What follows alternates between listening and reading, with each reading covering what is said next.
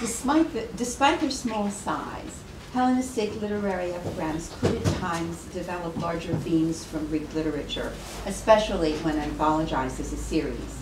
As an example, I offer a set of five interrelated epigrams by Meleager concerning the god Eros, AP 5176 through 180. No other continuous Meleagrian sequence reaches this length, and the poems appear to have formed an important nodule within the Garland's erotic book.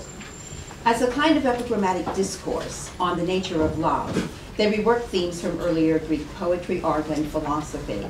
By personalizing these themes through the persona of the epigrammatic lover, they transmit the tradition about Eros in a format that influenced the later Greek and Latin literary tradition. The Eros presented in the series is clearly the willful boy god who appears in Hellenistic poetry and art. But Meleager also draws extensively from earlier sophistic and philosophical discussions of the god. These so-called erotikoi logoi emerged in the 5th century as debates about the nature of Eros, arising at least partially because he played no role in early epic and received little in the way of cult worship.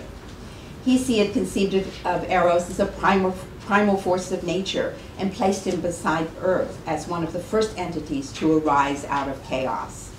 In archaic and classical art, Eros was depicted as a winged adolescent, sometimes in the company of Aphrodite, but his later attributes of torch and bow and his nature as a child developed mainly in the early Hellenistic era.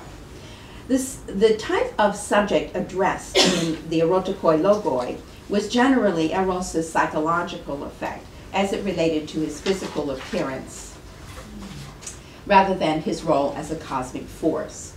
Surviving examples of such discourse, Gorgias's Encomium to Helen, Plato's Symposium, and Phaedrus' Xenophon's, Symposium are very familiar texts. But titles from lost works reveal the continuing popularity of the topic in the later 4th century and in Hellenistic philosophy. Another influence on the epigrams in the Meleager's sequence are monologues from Greek comedy, which indicate widespread knowledge of philosophical discussions about Eros. In a fragment from Eubulus, from and another from Alexis, painters are accused of being ignorant of the god's true being because they wrongly depict him with wings when in fact uh, he's never able to fly away. In Alexis's Phaedrus, a character who expressly draws on topoi found in philosophical discourse reflects on the mistake of painting Eros at all, since he is neither male nor female, god nor human, stupid nor wise, but a composite of many forms. Mythical accounts of the god also, appear in comedy, as in a fragment of Aristophanes' Pythagoristes, which contains a story of the Olympian shearing Eros of his wings to banish him from heaven. Although the identity of these comic monologue speakers is unknown, they do suggest models for the lover's voice in our sequence. Meleager was also influenced by the more developed mythical narratives of Eros found in Hellenistic sources, such as Apollonius' Argonautica and poems about Eros in the later bucolic corpus, especially Moschus's Drapetes, the runaway Eros. These poems contributed the motif of Aphrodite's difficulty in controlling her unruly son and narrative personifications of the psychological effects of Eros's arrows in stimulating desire. After this very abbreviated summary of what went before, I turn to a reading of Meleager's five poems as a unified sequence, pointing out their connections one to another, the reworking of the earlier discourse on Eros, and the presence of themes taken up in later texts.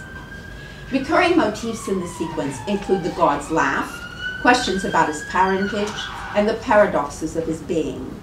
I would argue that the sequence was a linchpin in the adaptation of philosophical discussion on eros to representations of, internal, of the internal emotional experience of the lover. The first epigram, 5176, is a lover's generalizing reflection on his long familiarity with Eros's power and cruelty. Its opening cry of deinos eros deinos is apparently uttered in the throes of some unspecified emotional crisis and leads to the lover's acknowledgement that such reproaches are useless. The failure to stem love's power with complaint is then more commonly imaged as a fantasy of the god's reaction to verbal abuse, his laughter, his pleasure, and an increase in his strength. Finally, the lover's mood shifts to wondering at Eros' genealogy as a paradox. How could fire be created from water? The epithet deinos in the opening reproach, repeated both in the present moment and as remembrance of past occasions, is a traditional one for the god. Alcaeus refers to Eros as the most dreadful of the gods, and he is called deinos three times in Euripides, once in Plato. A close equivalent, saevus Amor, appears frequently in Latin poetry. I call particular attention to the Song of Damon in Eclogue 8, where the lamenting lover declares that he has come to understand the god's nature, nunc scio quid sit amor, just before illustrating the murderous cruelty of the saevus Amor. Hugo in 1921 argued that the speech of Damon showed Virgil's familiarity with several epigrams in um, the slightly larger Garland sequence that includes our five poems. And I will return uh, to uh, influence uh, on Eclogue 8 later in the paper. The motif of the god's laughter, which is identified in the second couplet as his habitual response to the lover's reproaches, is surprisingly rare in earlier sources. It is found, however, in Moschus's Drapetes, where laughter and tears are two of Eros's tricks to escape from capture. Among later examples is an epigram by Crinagoras, in which binding Eros, a theme also we'll see later, binding Eros is justified on the basis that the god responds to mortal pain with his laughter. Meleager's emphasis on Eros's laugh, appearing in all five epigrams, likely lies in the background also of Cupid's laughter in key Ovidian poems. In Amores 1-1, Cupid reportedly turned the poet from epic to elegy by laughing and snatching away what foot, recisse cupido dicitur. The presence of dicitur here signals a source and an additional hint uh, of Meleager's Deinos Eros sequence is Ovid's address in the very next line to Psyche, Similarly, in 218, Amor laughs at Ovid's tragic costume, again to turn him to elegy, and his laugh occurs also in 1-6. Ovid's programmatic use of Cupid's laugh as a mark of his generic choice to write love elegy seems related to its repeated presence in Meleager's sequence. Turning to the final couplet in 5176, we can see that it reduces a long history about Eros's origin to this conceit of fire emerging from water encapsulating the mythical stories about his birth, as well as his mother's, his cosmic dimensions, and his paradoxical nature. Um, although there's no time really to go back and look at all the uh, elements in the earlier uh, Logoi, uh, I will point to a third century poet, Antagoras, who proclaims in a poem supposedly reflecting the teachings of the academic Crantor that there existed two versions, two separate lines of uh, descent about Eros's origin either that he was among the first of the gods brought forth by night from the depths of ocean, or that he was the son of Aphrodite, earth, or the winds. So beginning here in this sequence, Meleager molds almost all of these elements as he molds uh, uh, Antagoras' uh, two sides of the question. And he does so to reflect the god's power and elusiveness. So 5176 serves as an introduction for the four epigrams to follow. The central three in the sequence, 177 through 179, might even be read as examples of the lover's earlier reproaches, his loidora. 5177 and 178 are mime-like poems, often treated as an epigram pair. In both, the lover engages in role-playing, first taking on the persona of a slave owner who proclaims the loss of a runaway child, and then that of an auctioneer who tries to sell the baby Eros and both end with acknowledgement of the god's close relationship to Zenophila. Zenophila provides the only example of a love object in the epigram sequence, which as a whole deals generically with the lover's plight. 5177 mimics proclamations made to recover runaway slaves, some of which survive in written versions on papyri, and I brought you uh, one such version in the Greek uh, which I will translate. It's from uh, second century Alexandria, second century BC. A slave disappeared in Alexandria named Hermon and also called Nilus. In origin, a Syrian from Bambyke, 18 years old, of average height, beardless, with strong calves, a dimpled chin, a wart by the left nostril, a scar on the left side of the mouth, tattooed on the right wrist, wearing a cloak and waistcloth. In his second couplet, Meleager adapts physical descriptions of this sort to a staccato listing of Eros's character and appearance. The information in such proclamations about a slave's ethnic origin is remodeled in the third couplet as the problem of whether Eros had a parent, and if so, whom or what. Archaic poets invented divine parents for Eros in so many conflicting versions that Phaedrus in Plato's Symposium concluded the god had no mother or father. Meleager personalizes this tradition by asserting that three alleged progenitors, ether, earth, and sea, all deny parentage. In so doing, he simultaneously recalls pre-Socratic accounts of Eros as a cosmic source, and he contradicts them. The lover's role playing as a herald is specifically indebted to the Drapetes, where Aphrodite proclaims Eros a runaway and promises the reward of a kiss for his capture. Both poems begin with the language of proclamation, and the phrase with which Meleager introduces his description of the lost boy in the second couplet, Esti hopais leukudraus, closely echoes the opening of the similar, though longer description given by Aphrodite, Este do pais perisamos. The goddess concludes with a warning to avoid the dangers of the boy's tricks and weapons, and Meleager's lover, lover similarly issues a warning to beware of Eros's nets for snaring souls. Particularly Meleagrian, however, is the final twist when Eros is seen hiding in Xenophil's eyes. In this, Meleager seems indebted to Callimachus' epigram 1273, in which half of the poet's soul has run away, gone off to some boy, it seems. I suspect that Callimachus' last words, I know that it loiters somewhere there, meaning with the boy, lie behind Meleager's ending. You haven't escaped me, Archer, hiding in Xenophil's eyes. Meleager's shift turns the proclamation format into a mini drama through the speaker's internal emotional change. It reveals that the poem has from the outset been over the only the lover's internal discourse about loss and renewal of desire, play acted as an allegory of the runaway Eros. In the companion epigram, 5178, modeled on an auction, the slave's qualities and competencies are again listed in the second and third couplets.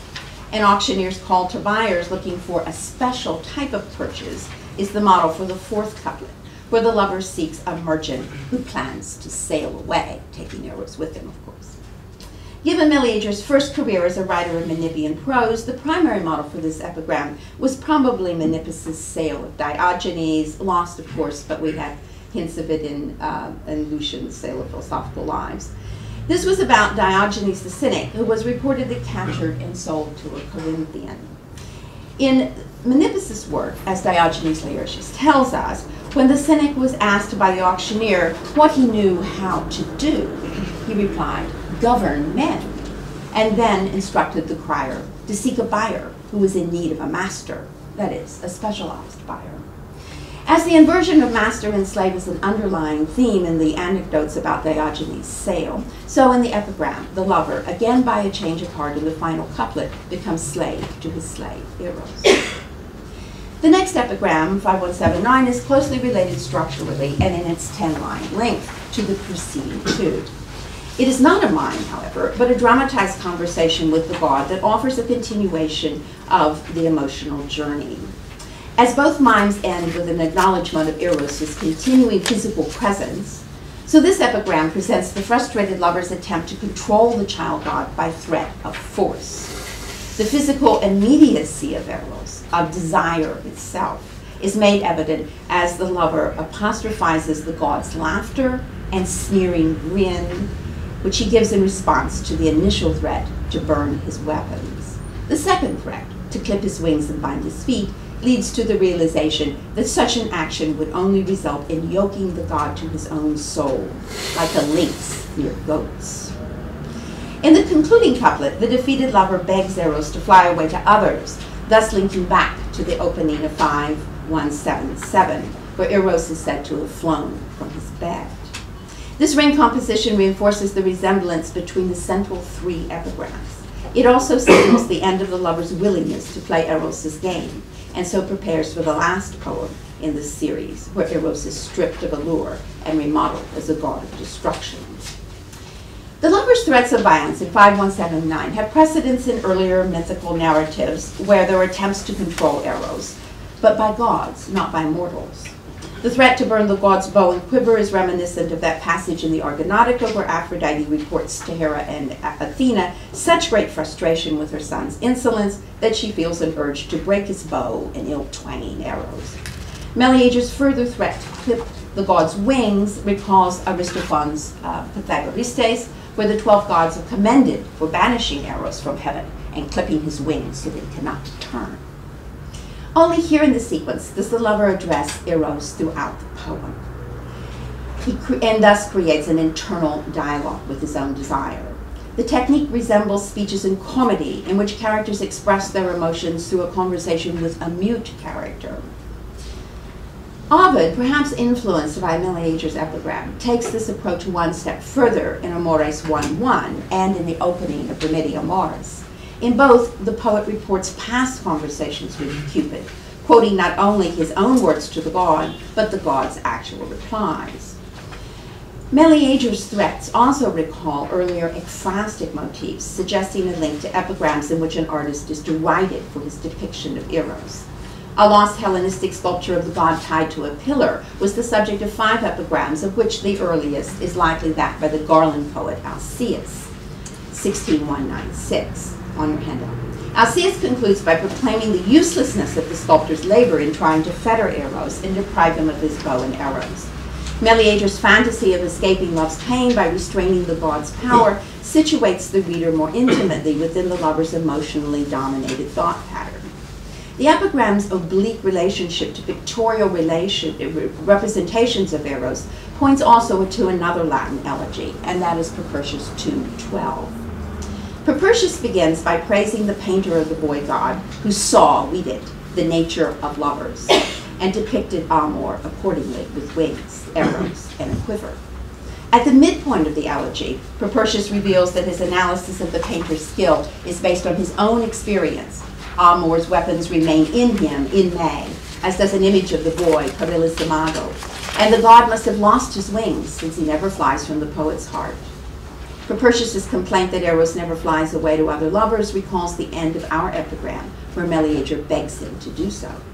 Particularly of interest is Propertius' shift in line 17 to direct address of the god, recalling, I think, 5179. He begs Amor to cast his arrows against another, alio traitete latua, compounding the reminiscence of Meleager's last couplet about flying away by imitating its useless command. Propertius' final ploy is to point out that if Amor destroys him, there will be no one to sing erotic elegies as good as his. And the poem's conclusion reveals the real source of Amor's power, as the lover focuses on the physical reality of the Puella, her head, fingers, dark eyes, and delicate walk. As um, 5179 writes a number of Propertius's motifs, the final couplets in 5177 and 178 model the turn from complaint about the god to submission to the beloved at the poem's end. So I suggest Propertius's poem is indeed indebted to several epigrams in Meleager's sequence. The summary quality of the final epigram is evident. The opening rhetorical question in 5180 asking why it would be strange that man-slaying Eros hurls fire-breathing uh, arrows and laughs bitterly um, uh, links back to other epigrams in the sequence. The phrase tizenon recalls tidetopleon in the first line of 5176. The blazing arrows recall the empty threat to burn the god's weapon that opens the previous epigram 179. And the god's laugh is, as we have seen, a leitmotif throughout. The last poem also answers the sequence's recurring question about the god's parents by revealing that he has only a matrilineal mm-hmm. genealogy, a mother Aphrodite and a grandmother, the sea. The lover again reflects generically on the nature of Eros as in 5176, and the epigram may be read as a return to the same dramatic time frame as in that initial poem a time when reproaches and threats have ended and the lover has come to contemplate Eros's power with resigned acceptance. The main idea of this poem is to explain that Eros's affinity to fire and swords and his savage temperament derived from Aphrodite's relationships with Ares and Hephaestus and her birth from the raging sea. The compound brotoloigos in the first line, a Homeric epithet of Ares, signals the key role played by that god. Note that the final phrase uh, I, Imato Furta Belle, containing a unique compound, equates Ares' blood-smeared weapons with Eros' deadly barbs. The paradoxical likeness of the god of love to the god of war is a rare motif in later epigram, but one example is the anonymous 9157, apparently imperial, where Eros' divinity is denied on the basis of his cruelty, since he smiles at human bloodshed, holds a sword in his hand, and orchestrates the murders of a mother and a child. I also call attention to the two central couplets of 5180 on Eros's genealogy, which adapt an old topos in which hard-heartedness is explained by a fanciful birth or rearing. The earliest example is Iliad 16, where Patroclus blames Achilles for abandoning the Greeks, saying, The deep sea and steep rocks have given you birth, since your mind is harsh. Adaptation of the topos to Eros occurs in Theocritus' Idyll 3, where a lovesick goatherd announces that now he has come to know the god, who was suckled by a lioness and reared in a thicket. In Eclogue 8, Virgil translates Theocritus' nun en non to erota with nunc scio quid, quid sit amor, a phrase that recalls the principal question in the erotikoi logoi, and he then alludes to the Iliadic passage by naming the distant mountains and deserts to be a birthplace of the boy god. In Virgil, there follows the reference to saevus Amor, who taught a mother to stain her hands with her own children's blood, apparently Medea. The translation of Deinos Eros in 5176, juxtaposed with the motif of Eros' association with actual killing that is reminiscent of 5180, suggests that Virgil filtered his version of this old topos through Meleager's epigrammatic sequence, much as Boyle suggested. We should also notice that while the topos is elsewhere a form of reproach, in Meleager it ironically accompanies the lover's abandonment of reproach. He now simply accepts that Eros's nature is derived from his mother, her male associates, and her own mother, the sea. These are the elements of the lover's destruction, as he abandons hope of delivery from the power of desire. The conclusion to the five poem sequence is thus decidedly bleak, as love is identified with death itself. Well, I recognize so much to my shame that I have left out much that is uh, uh, in the tradition earlier and later. Would like to develop it more elsewhere, but I just want to emphasize that my main goal has been to show that Meleager composed or at least arranged these five epigrams to serve as his perspective on the nature of Eros, and that the sequence as such played some role in the transformation of the earlier Greek analysis of the god into the subjective accounts of pathetic lovers that we find in later literature.